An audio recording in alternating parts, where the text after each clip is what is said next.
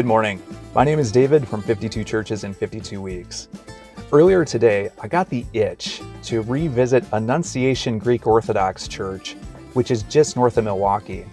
Uh, with this channel, I've done several church visits related to Protestants, Catholics, Latter day Saints, but I've only done one Orthodox church. And after receiving multiple requests to do more, I figured this was the weekend to do it. So, with this particular Greek Orthodox church, I visited this for the first time eight years ago. And if you want to read about that visit, feel free to read my book, 52 Churches in 52 Weeks on Amazon. I'll put a link in the description box below. But when you first see this building, it looks like a retired UFO. It was one of the last works of the famed architect Frank Lloyd Wright. His wife actually grew up in the Greek Orthodox faith. So when he asked her advice what to focus on, she said to focus on the cross and the dome.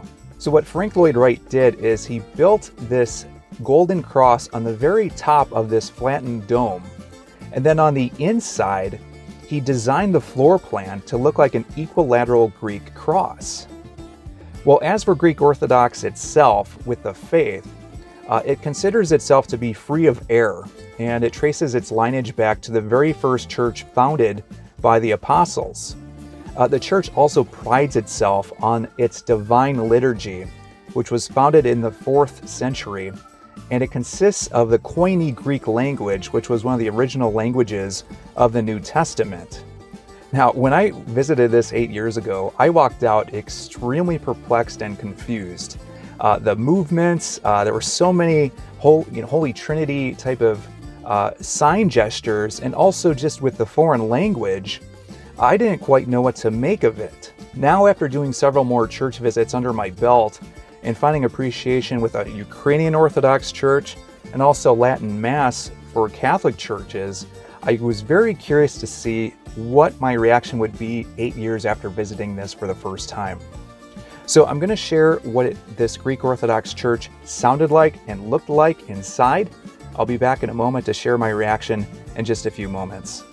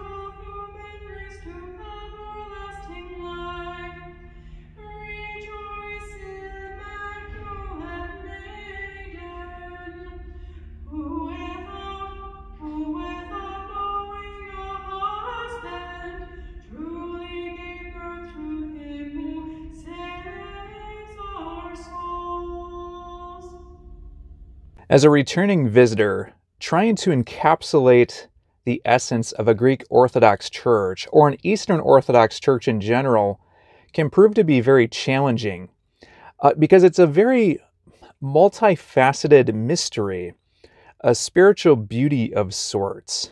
Because when you go, no member of the church is going to volunteer details about the actual physical beauty of a church like this. Uh, for many, if you are a regular attender, like you're just so accustomed to the church, it's not, no longer novel to you. For me, visiting this for a second time, I could see different aspects of the physical beauty blending into a spiritual beauty of sorts. Because walking into the building, like it is this magnificent architectural marvel. And then you have these vibrant visuals and the rich symbolism throughout. And then on top of that, you blend that with the divine liturgy, with all these gestures. and the foreign language and the chants and the music and the psalmodies. And you combine that, and it's just with the foreign language, it, it's it's a little difficult though to really get a firm grasp on everything that's going on because when you're hearing a different language, you just don't understand it. This had so this one had four languages from what I was told later on. And, and that pre- presented a bit of a challenge to understand the full scope of this, but there, there also is that mystery where it is actually beautiful, where sometimes you don't know what you're hearing, and it just tunes your ears in even more. I think one thing that I w- haven't seen before was just the, and I've seen this with Roman Catholic churches, especially with Latin Mass, but for the Greek Orthodox Church here, there was so much reverence with the preparation for the Eucharist. Um, there was a golden screen, like this golden gate, that was shut during the pre service Matins service. And I didn't even know when they opened that up, but they eventually opened it. And that's when the deacon brought in the, the gospel.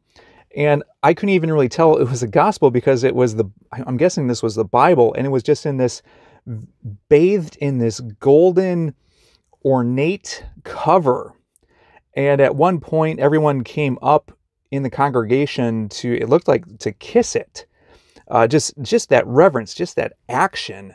Uh, that I don't typically see in any other type of church. So again, this is where, where the mystery comes alive for this.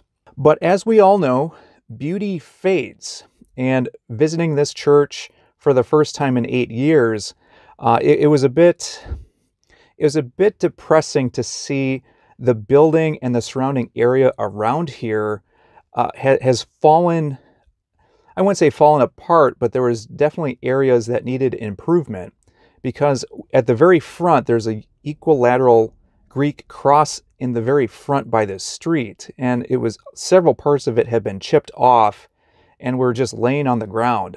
Uh, private property signs were all over the place to thwart any type of trespassers.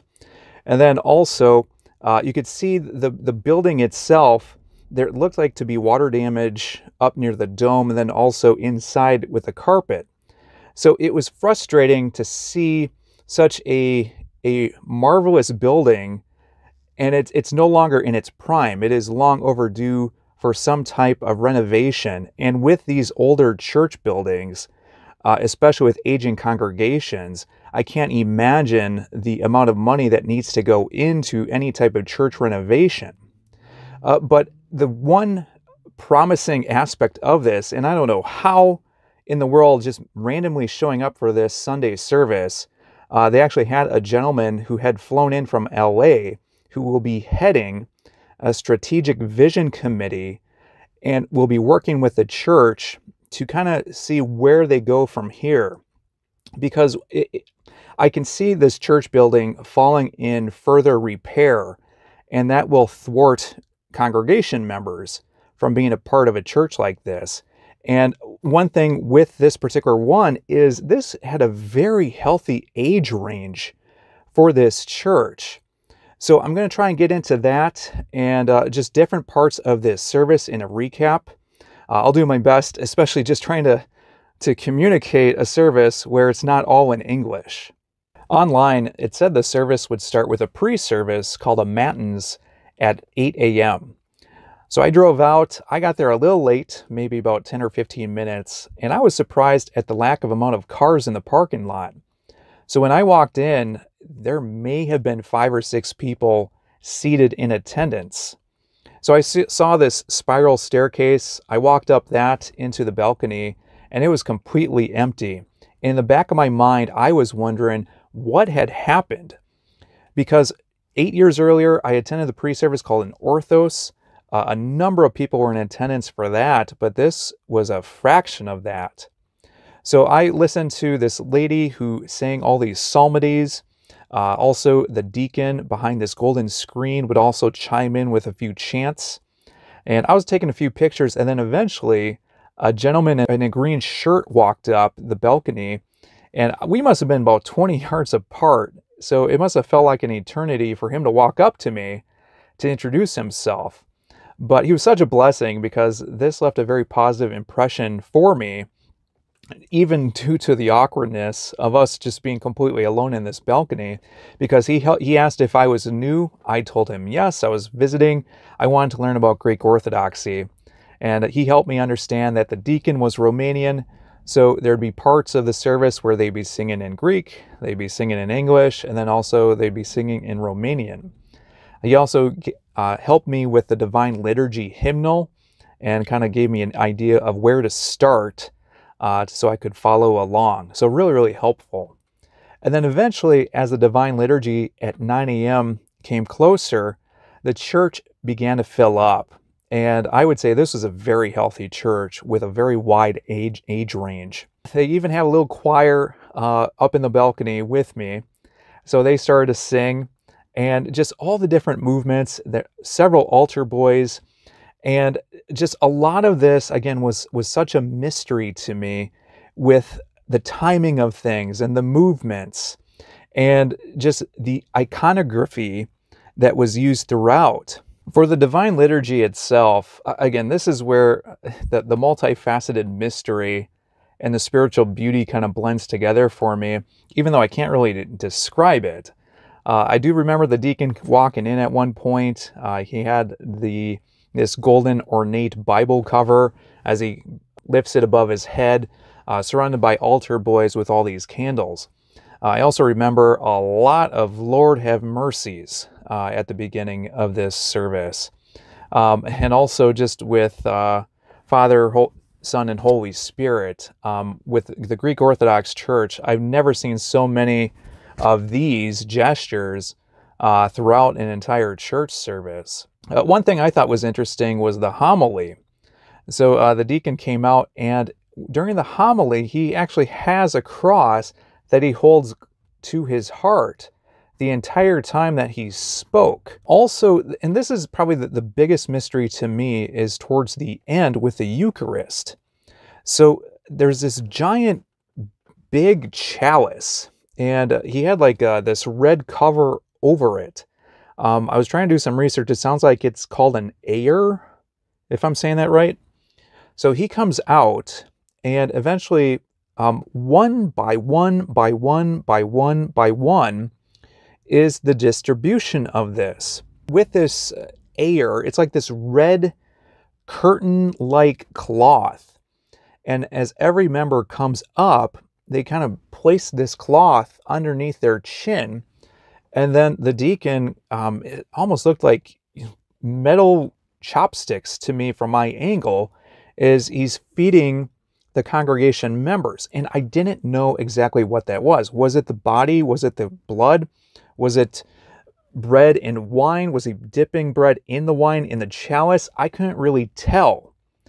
So this took a very long time. And again, this is something that I've never seen before where the distribution of the Eucharist is so individual because I'm so used to seeing, uh, you know, lines or people seated at like an altar uh, type of rail of some sorts, but not here. And not only that, but uh, age didn't matter because they were giving this to babies as well. So this took, I want to say, at least 15, 20 minutes for the entire church to receive um, whatever was in this chalice. Again, I'm, I'm thinking it was communion. Uh, eventually, uh, and before this even happened, uh, the gentleman in the green shirt uh, walked up to me one last time just to ask if I had any questions. And one of the questions I had was why were all why, why was everyone going through these doors on the side? Why weren't they going straight through this open area? And I didn't even realize, but the gentleman in the green shirt mentioned to me, oh, only the deacon is allowed to walk through that, that space.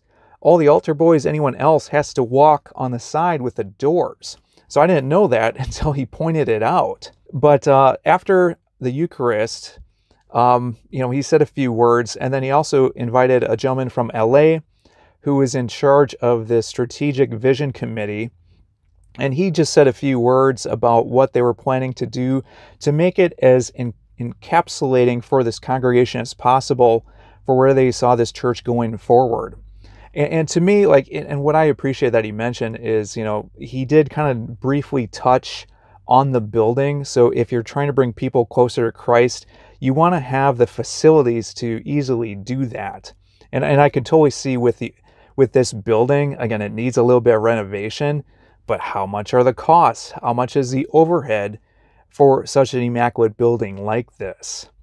So afterwards, everyone, I guess, was going to go across the street uh, for their, uh, I'm guessing, like a, a, luncheon afterwards. And this is when uh, the deacon, it looked like he was handing out bread. So this is again where it's like, was he serving the wine in the chalice and then afterwards the bread? Or was this just like bread for the lunch?